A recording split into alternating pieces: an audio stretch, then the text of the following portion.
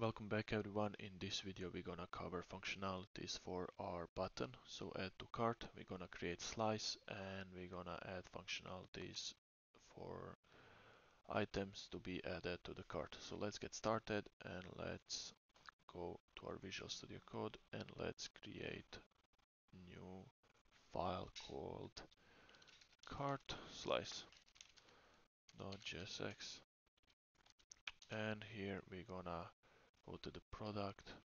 Just copy this create slice import it. Then let's export const cart slice. Gonna create slice and inside we can name it cart. And initial state. Okay here in initial state we're gonna have a cart list that's gonna be empty we're gonna have amount that's gonna be zero total amount like all items. Total amount is gonna be zero as well and total price. At the default it's gonna be zero as well. Let's create reducers for our actions. And inside we're gonna have function add to cart gonna get state and the action. Nice. And now we need to export that action. Add to cart create slice dot it's not create slice it's cart slice dot actions.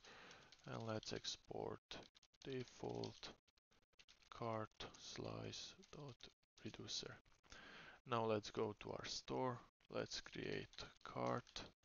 And here we're gonna import port cart reducer from features sliceless cart slice. Let's add cart reducer over here. Okay now when we added everything let's start adding logic here. So we're gonna have something like product ID product ID and that's gonna be our action dot payload. We're gonna be using that product ID for our action dot payload.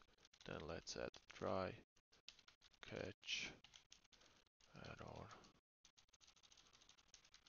turn error. And here we're gonna create if that product exists then we're gonna just increase it otherwise we're gonna push something else to cart and let's add variable exist and now we're gonna add state.cart.find we're gonna loop through our cart if it's there we're gonna uh, find like that product. And if that product is there product dot id if it's equal our product id that our action payload. If it's if the product id is equal that product that we are adding so action.payload is gonna be our button. If we are adding that the same product with id then we're gonna check also for the size product dot size if it's equal product and we need to go with the id id dot size and at the end prada dot color. If it's equal product id dot color. Okay so if there is an item like that we're gonna put our amount so it's state I mean exist dot amount gonna be is going to be higher.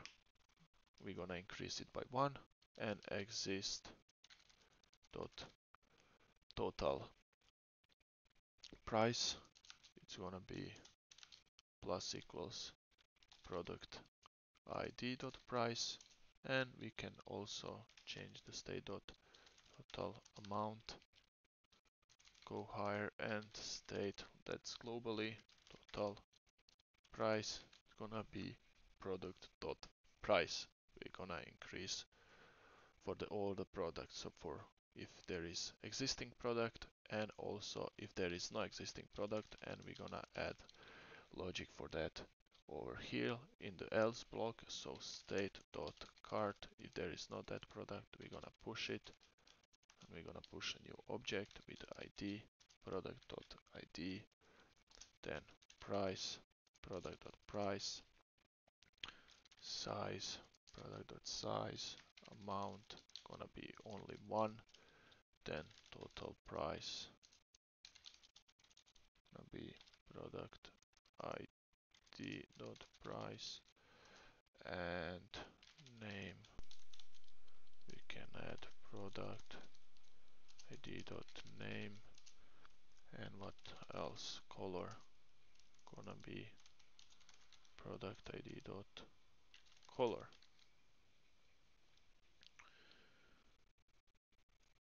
Okay and we need to put it like that. And at the end now we need to change that total amount going plus higher and total price gonna be plus equals product id dot price. And this is logic for our item. Let's see if it's working. So let's go to the single product and let's import that action. Import add to cart from our feature slices.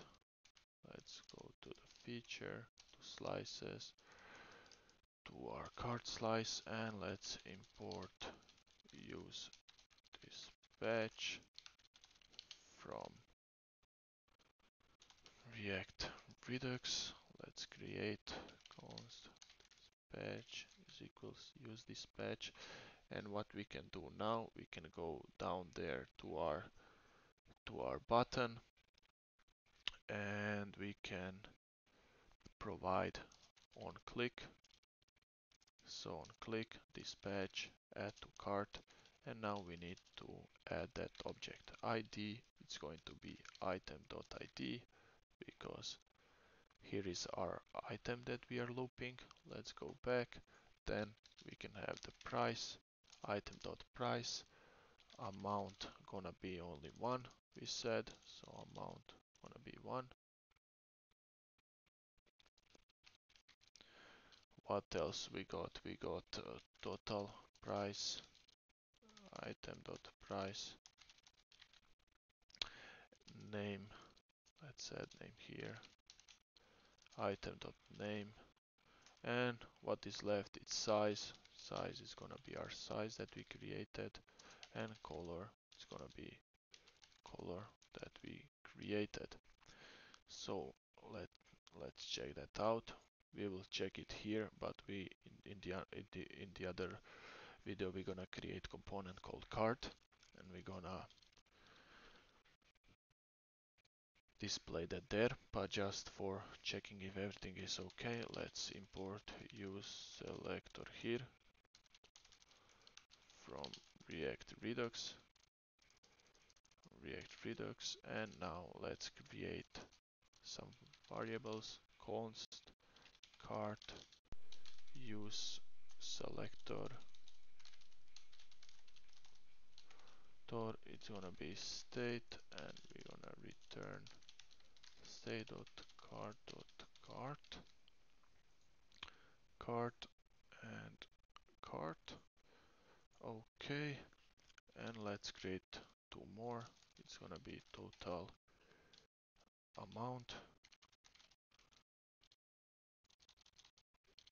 total amount and here we will add total price. And here let's add total price and let's console.log cart cart. Then let's console two more. It's gonna be total amount.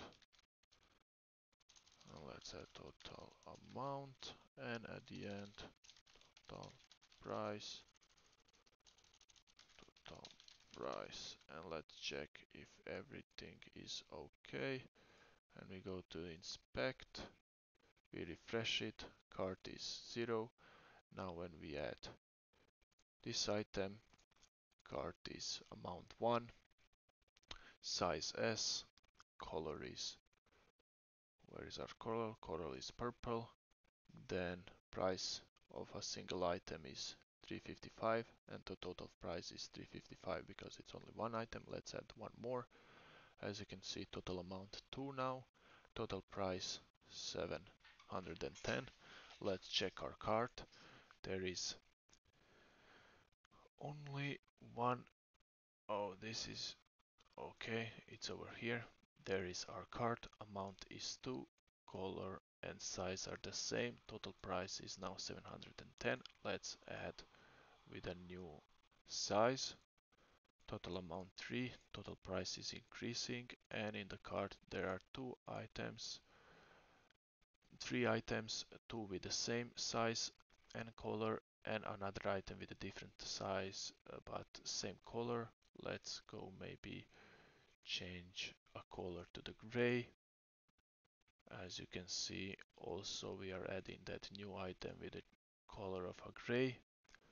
Size total price is increasing and total amount is increasing. Let's add another item. Let's go to the jeans and let's add this casual jeans. Total price is increasing amount of course and we added casual jeans. Everything is working. This is it for this video and see you everyone next time where we're gonna be building cart and we're gonna be displaying these items in our cart. So I'm gonna remove this from here. This was only for our practice and to check if everything is okay with our cart slice. Okay see ya everyone next time. Bye